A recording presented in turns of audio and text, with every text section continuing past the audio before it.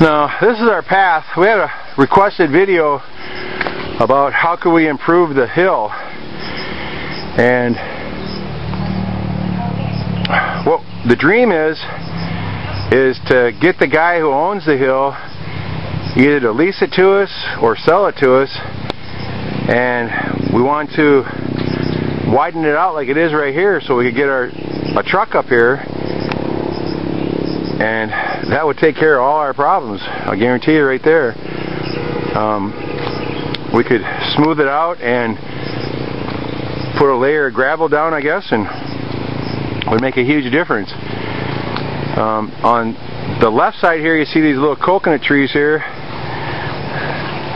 this is the guy here that owns the the, the bulk of the path right where I'm standing another guy owns this but he's pretty friendly so I'm sure we could talk him into it. I don't think they'd have any problem. The old guy, he had a fit when we put the little bead of cement down the path to save the erosion.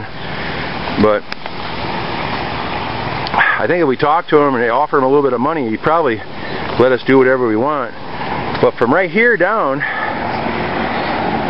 you know, here we have to do some pretty good digging. Um, we never get a machine in here and like that. We can never afford that. But I think if I got a couple guys in here, uh, I think we could widen it up fairly easy. Uh, the you see a little bit of the rock here. The rock up here is real soft and it chips away pretty easy with a bar. So I don't think that'd be a huge problem.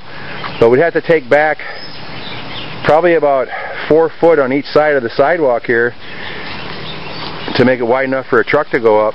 Uh, like one of the little multi-cabs. And then down here, we've got some big trees in the way.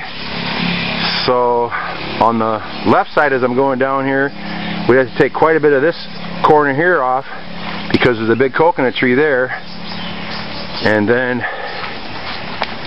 the biggest part right here is going to be right here there's a, a tugas tree and a coconut tree if we cut straight down by the tugas tree, it's about four and a half, five foot high there.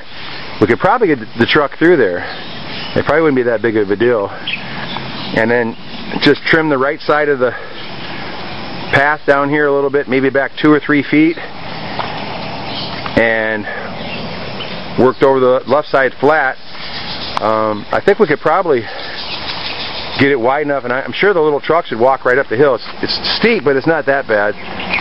Um, first gear and four-wheel drive, they're uh, pretty versatile little trucks. Right down here by the highway. But the hill is fairly steep. But you can see there's kind of a little mound over here on the left side. So I think if we just flatten that out, I, I think we'd be okay. We just don't want to uh, make it so that there's any erosion going down the hill because over here it drops down about 35 40 feet almost straight down you know down into the bottom so and then if you look back up there see Marafino she's probably what 35 40 feet above me now already so you know and she's probably a good 20 feet higher in elevation. It's a pretty steep little hill. I know I've crashed a few times on the bike going up it but that's because the bike gave out.